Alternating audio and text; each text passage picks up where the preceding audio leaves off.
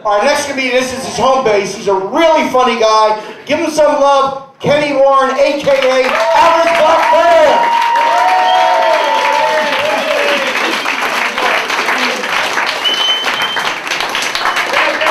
Y'all give it up for yourselves one time.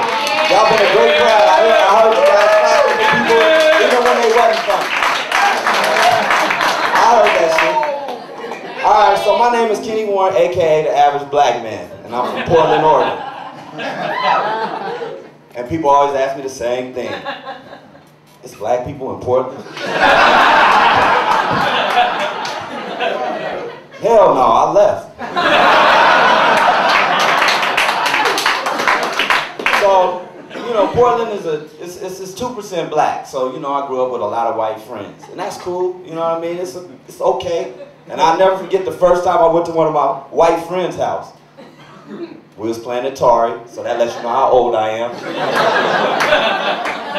and his mom came in and was like, "Put the game away, finish your homework, and you guys can get back to the game when you're done." And my boy looked at his mom and was like, "Oh fuck, mom, you're a bitch." I was like, white people get to talk to their parents like that? so I went back to my mom. I was like, Mom, you won't believe this. But this white kid told his mom, oh, fuck, Mom, you're a bitch. And she was like, boy, if you ever talk to me like that, I will beat the black off you. And I was like, well, then I'll be white. And by law, I only get time out. And even though I'm black, my dad was there for me. You know? He coached my basketball, he coached my baseball teams, but he was a hippie. And it was embarrassing. Because you know, the, the coach always has to give kids a ride home. And before they even got to the house, he'd just fire up a doobie.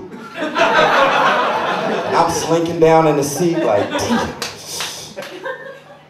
and I never won too many games of the dozens and stinging, you know, when kids talk about each other's parents because they always had a go-to joke. And it was Catholic school that I went to with a bunch of white kids. And they always said the same thing. Yeah, that's why your dad called timeout so we can smoke a joint. and it hurt. It hurt. Because I knew it was true. I knew it was true. And my mom, my mom, she was there. She was solid foundation for me. You know what I mean? She fed me. She kept me clean. But she had questionable boyfriends. I could, I'll never forget from the ages of 8 to 11, she had a, bar, a, a boyfriend from Barbados. And then he always talked about Kingston and Jamaica for some reason. I don't know. His name was Michael Anthony Peter Sylvester Montgomery McQuilkin. No hyphenations. And he acted like a different one of those dudes every day. Him and his friends, all the Jamaicans and Bajans, they used to come over and drink and get just get drunk. And I was a little kid. You know, I'd be sleeping, they'd come wake me up. Wake up, little Ken, wake up. And I'd be like, ah, wake up, little Ken, wake up. Come dance for us. And I'd be like, I don't want to dance for y'all. I don't. And then it, the, the Barbadian dude would always be like, the Rise got Bumba Clyde dance like Michael Jackson. And then they let me go back to sleep. And they'd keep drinking all night long, and every party ended the same way with somebody getting stabbed. That was the idea of having a good weekend. So I moved to New York in 2004, and I started working at this barbershop over in Spanish Harlem. And I'll never forget, now I'm fresh from Oregon. I had this kid in the chair, he's moving around, he's grabbing the clippers, I'm sweating. And the mom saw it in me, she came over and was like, you have to be patient with him, you know? He's autistic. So I'm fresh from Oregon, we, we still on retarded. I said, autistic? I don't want him to draw me a picture, I just want him to be still. The barbershop, you get all types of characters coming through there all the time anyway. You know, I remember I had this fly Harlem dude, he's a, he's a, he's a drug dealer. But he thinks, you know, if I listen to the Jay-Z Reasonable Doubt album, front to back, I can hustle and never get caught. So two years later, when he came back from his vacation to an island, Rikers Island, I had to ask him, man, was your CD scratched? And then we got people that like to come through the barbershop and sell stuff all the time. We got one guy, we call him the cologne man. he never has what we want. You got Issey Miyake? No. You got Polo Black? No. Well, what do you got? Proudly. He held up a bottle of insurrection. I had to say pause. Because I heard insert and I heard erection. So I told him, bring the bottle over here, man. Let me check this out and see what's going on. So he brings the bottle over to me and I take a look and I see that it's a male enhancement spray on. Now, I'm one of those dudes that like to spray my cologne on profusely. You know what I mean? If you're on the same train as me, you're like, oh, that guy, he smells like Gucci guilty. He stinks.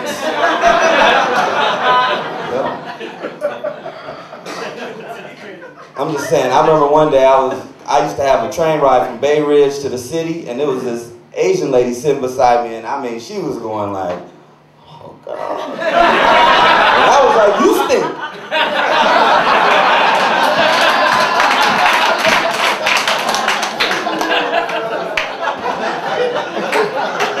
But you think about it though, like me spraying on my cologne on profusely like that. Now just think if I would have just took his word for it and sprayed that male enhancement all over my neck. Oh, I mean, you know, I'm here, I'm here with it. I'm shh, shh, shh, shh. I probably would have woke up in the morning with a stiff neck and cauliflower ears. and I'm gonna tell you something. I'm gonna tell you something. He has competition though he has competition. We got a, a Muslim brother that comes through the shop with, with Muslim oils, which they use for like a cologne or perfume, and porn. a Muslim dude with porn and oils. It kind of goes together because you can use the oils while you're watching porn, you know. But it's only fitting we gave him the nickname Butt Naked My Brother. Yeah, he, he pretty much put my whole porn collection together since 05. I, I took my hat to him. I just don't like that if I catch him on 125th and Lenox by the mosque, and I'm like, well, butt naked, you got anything for me? He like, excuse me, my brother, I think you got me mistaken. I don't do that. I'm just saying.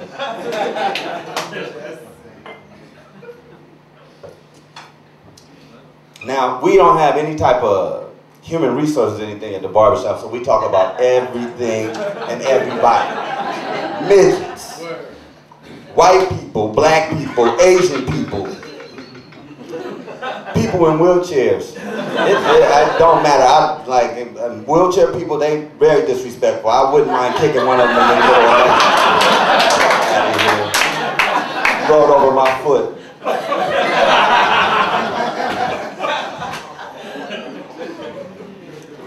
One of the guys came in the shop one day. He was on crutches, and uh, one of the barbers was like, you know, what, what's up, man? What happened? I thought maybe he hurt himself. You know, he, he was on crutches, and uh, the kid was like, well, I had to get my meniscus removed.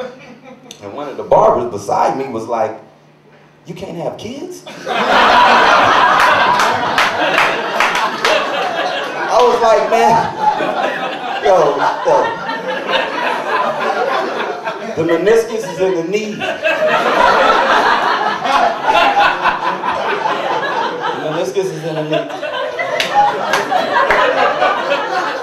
And like I said, we, we talk about gay dudes all the time. All the time. Unless they there. Because I got this gay dude that I cut. He looked like he should be on the line for the Giants. He's big as hell. He came in the shop the other day with some Chinese flip-flops and a French manicure on his toes. A French manicure on his toes? And didn't nobody say shit while he was in there. He got 11 barbers. I know somebody had an opinion. And I ain't gonna lie, one barber asked him, is that a French manicure? He was like, yeah, it's a French manicure. It felt good when I got it too. My toes was like, er.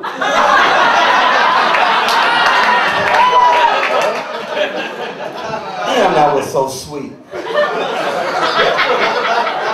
So when he left, we started talking about him again. we did. And what we were talking about was that the fact that it's a no-win situation if you get into it with a gay dude. If you whoop his ass, you're going to jail. That's gay bashing. If he whoop your ass, he might kiss you.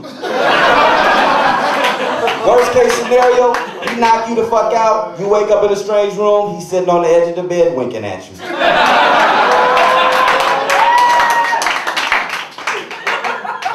I'm gonna leave y'all with this because he flashed the light on me. I was on the internet and I was reading about this uh, this guy in Africa. He had six wives, right? And they was getting fed up with the shit. They like, nah, this is 2012. This is some bullshit. So they lured him over to one of their house, and all of them raped them. Yeah, they raped them. One by one, they made him have sex with all the wives, and when he got to wife number four, he died. What a martyr. That dude is my hero. I wouldn't have went out any other way. I'm Kenny Warren, the average black man.